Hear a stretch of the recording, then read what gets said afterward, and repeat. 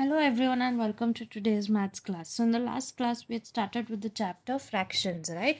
And we did a quick warm up exercise on what you'll have learned in this chapter. So today in today's class we'll be studying what are what's the concept of fractions and what are the types of fractions. So what is a fraction? As we saw yesterday, fraction is a part of a whole, correct? So numbers shown here in this form as one fourth, half, three fourth, okay they are known as fractions okay? So now a fraction has two parts the top part and the bottom part. Here the top part uh, which has the letter a represents the numerator and the bottom part represents the denominator okay? So numerator what is a numerator? Numerator is a number of equal parts in uh, which has been taken out or which has been left out. For example, this pizza, they have uh, divided this pizza into eight equal parts. And out of those eight equal parts they have taken out one part okay? So here one will be the numerator. And what is the denominator now? We'll see what is denominator later. Okay basically the number of parts uh, numerator will be the number of equal parts which has been left out or taken out okay?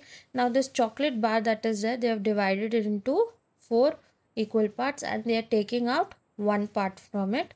So that will be one will be the numerator here okay? Then we have denominator. What is denominator? It is the total number of equal parts in which the whole is divided into. So this pizza was divided into eight equal parts. So 8 will be the denominator and the chocolate was deno- uh, divided into four equal parts so 4 will be the denominator okay? Then so uh, now why can't a denominator be 0 okay so since you cannot divide now if b is 0 that is if your denominator is 0 the fraction will not be defined as we cannot divide anything by 0 since you cannot divide anything by 0 it will not be the fraction will not be defined. Therefore you cannot uh, the denominator cannot be a 0 okay? Since it cannot be divided anything cannot be divided into 0 parts okay? So the b cannot be 0 so this is a golden rule of mathematics. All right so now we'll see what are the different types of fractions okay First of all, proper fractions. So what are proper fractions? Proper fractions are the fractions where the numerator is smaller than the denominator. For example, here they've taken 9, 9 by 10. So here numerator is 9, denominator is 10 and 9 is smaller than 10, correct? So it is a proper fraction. Here also 1 fourth. Numerator is 1 and denominator is 4.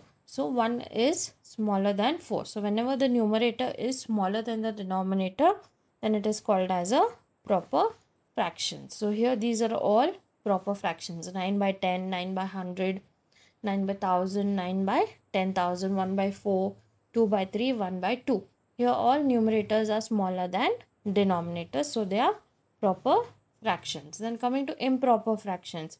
So improper fractions are those fractions where the numerator is bigger than the denominator okay? Numerator will be bigger than denominator. So if you look at the examples here we have 10 by 9 6 by 5 100 by 9 25 by 9 5 by 4 so all all the numbers over here numerators are greater than the denominators. So they are called as improper fractions.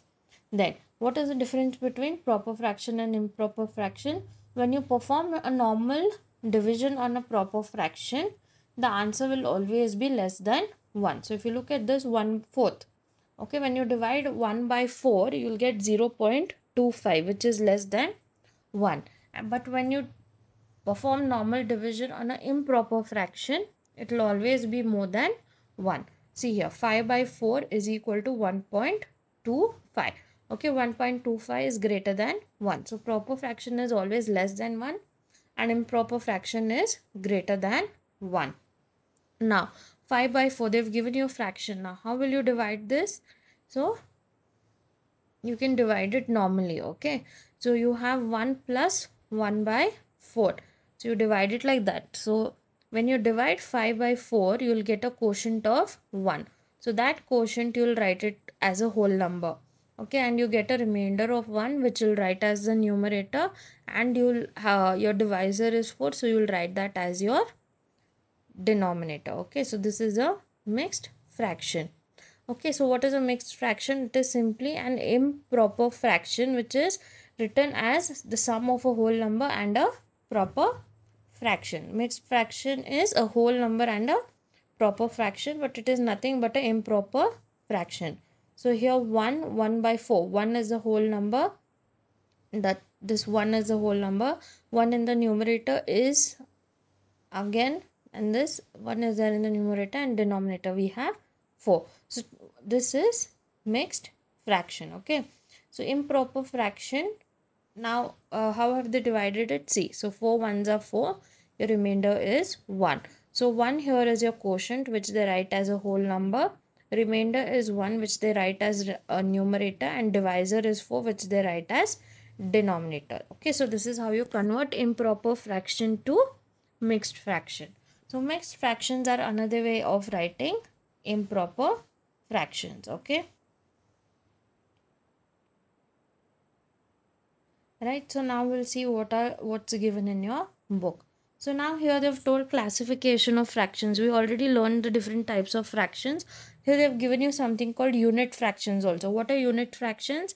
When your numerator is 1 then that fraction will be called as an unit fraction. So here they've given you some examples. 1 by 2 1 by 7 1 by 15 are all unit fractions okay? And you'll I also have learned fractions like like fractions unlike fractions and equivalent fractions what are like fractions when your denominators all are equal or same then those are called as like fractions so a set of fractions that have the same denominator are called like fractions while those fractions that have different denominators are called as unlike fractions. So here 1 by 7, 2 by 7, 3 by 7 are all like fractions. 1 by 8, 2 by 9, 3 by 11 are all unlike fractions. Now comparison of fractions. How do you compare two or more fractions? Now when the fractions are like fractions, they can be easily compared just by the numerators. Okay so here they have an example of 3 by 11 or 7 by 11 so if you see both are like fractions because their denominators are same which is 11 so now to see which is bigger you will compare the numerator. Now we know that 3 is smaller than 7 so 3 by 11 will be smaller than 7 by 11 okay? Now here in the next example you have uh, mixed fractions given to you. 3 1 by 6 and 2 5 by 6 both the denominators have 6 in them so they are again like fractions. So here what you can do one method is that you can compare the whole numbers. So in 3 1 by 6 the whole number is 3 and in 2 5 by 6 whole number is 2 okay so when you're comparing them now 3 is greater than 2 right so this fraction 3 1 by 6 will be greater than 2 5 by 6 so you can do that, compare the whole numbers or you can convert the mixed fractions into improper fractions. So 3 1 by 6 will be 6 3s are 18 plus 1 19 by 6 and uh, 2 5 by 6 will be 6 2s are 12 plus 5 17 by 6. So 19 by 6 is greater than 17 by 6 okay. So the same answers basically. Alright so this is when the fractions are like fractions. Now what happens when the fractions are unlike fractions or their denominators are different? So here they've asked which is smaller 7 by 10 or 5 by 15. Okay, so if you observe the denominators are not same. Okay, so now what you will do is to get a common denominator, we will find the LCM of the denominators. Okay, so we'll find LCM of 10 and 15. We have learned how to find LCM in the chapter multiples and factors, correct? So LCM of 10 and 15 will be 30. Okay, it will be 30. So find the equivalent fractions. Uh, uh, okay, so you have to find equivalent fractions such that your denominator is 30 now. Okay, now for first one 7 by 10. we know 10 threes are is 30 correct so we'll multiply the numerator also with 3 so 7 threes are 21 10 threes are 30 we'll get 21 by 30 now 5 by 15 so we have to convert the new denominator to 30 so 15 twos is 30 so we'll multiply 5 also with 2 5 twos are 10 15 twos are 30 so it will be 10 by 30 okay? Now we have like fractions. 21 by 30 and 10 by 30 so which is smaller now? 10 by 30 is smaller than 21 by 30 therefore 5 by 15 will be smaller than 7 by 10 okay. So next example they've told you to arrange the fractions in ascending order. So what you'll do here you'll find the LCM of your denominators. So here they find what are the three fractions given?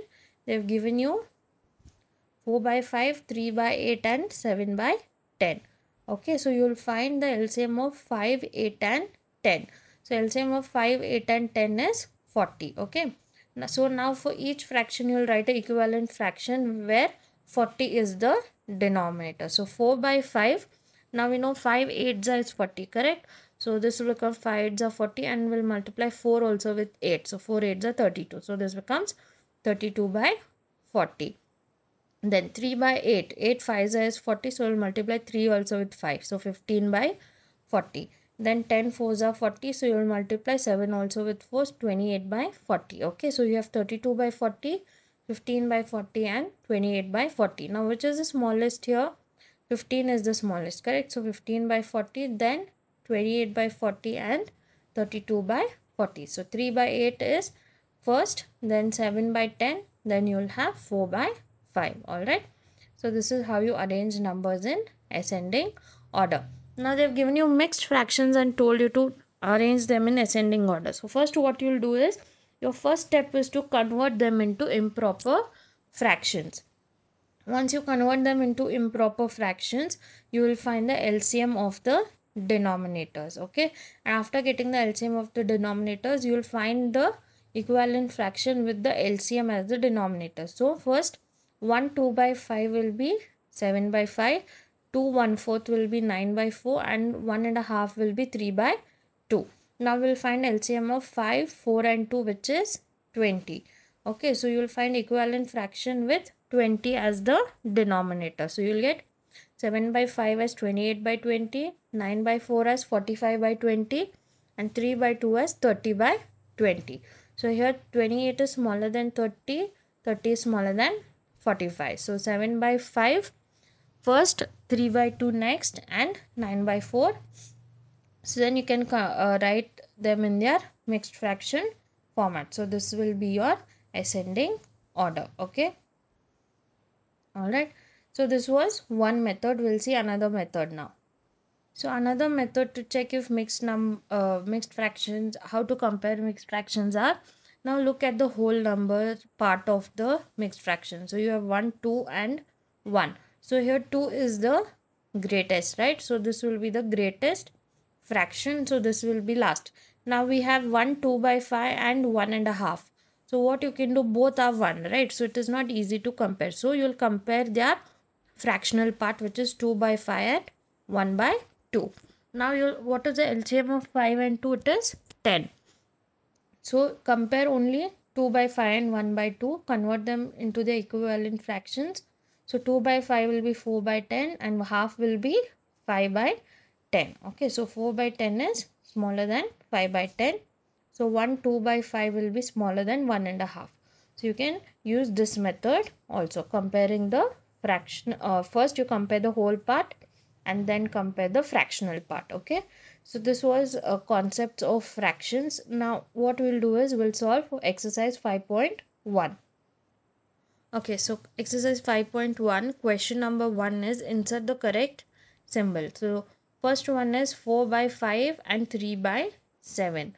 Okay, we have to compare those two fractions. So here 4 by 5 and 3 by 7, right? So now 4 by 5 and 3 by 7. So what we'll do, we'll find the LCM of 5 and 7. So LCM of 5 and 7 will be 30 5 okay? So we'll convert them into their equivalent fractions so 4 by 5 will be uh, around you so you'll multiply by uh, 7 so it will be 28 by 35 okay? 28 by 35 and 3 by 7 will be 15 by 35 so here 15 is smaller than 28 correct? So 4 by 5 is greater than 3 by 7 okay 4 by 7 is greater than 3 by 7 so here you can put the greater than symbol. Then 3 by 8 and 7 by 10 so first what we'll do you'll find the LCM of 8 and 10 so LCM of 8 and 10 is 40 okay LCM of 8 and 10 will be 40 now converting 3 by 8 to its equivalent form will be how much now 3 by 8 in its equivalent form will be now we'll multiply it by 5 so that will be 4 uh, sorry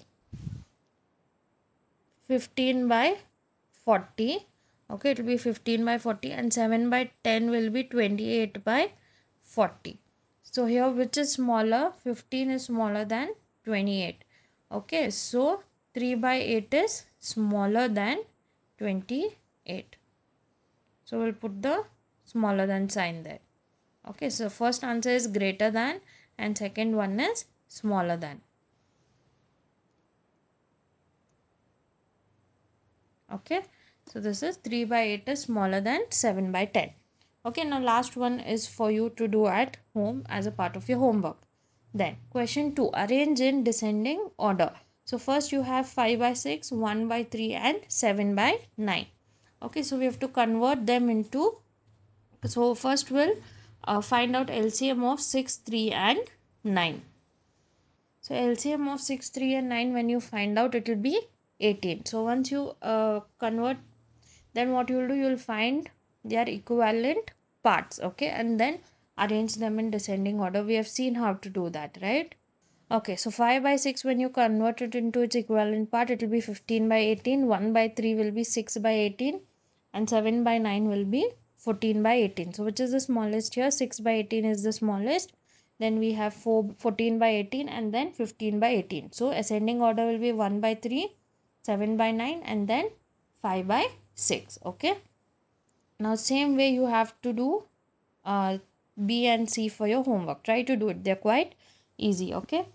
Uh, sorry, you have to arrange them in descending order, not ascending order. So first would have been 5 by 6 here, then 7 by 9 and lastly 1 by 3.